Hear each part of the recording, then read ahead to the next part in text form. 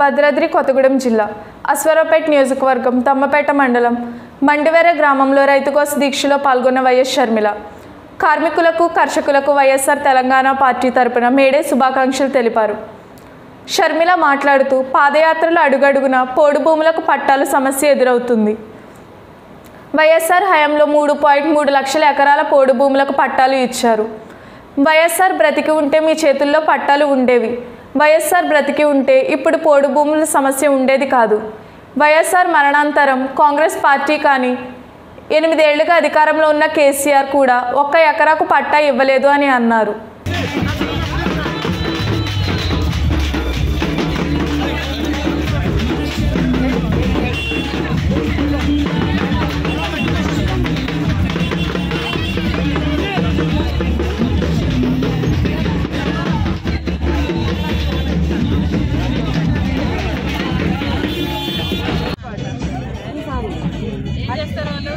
Sir.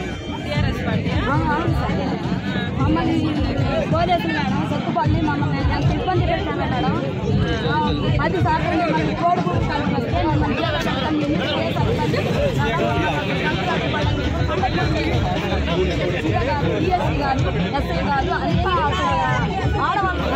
కూడా లేదు కత్తులు పట్టుకొని ఇంటి మీద ఆరుగురు మా ఇంటి మా ఆయన లేడు మా కొడుకు లేడు మధ్యాహ్నం తీసుకొని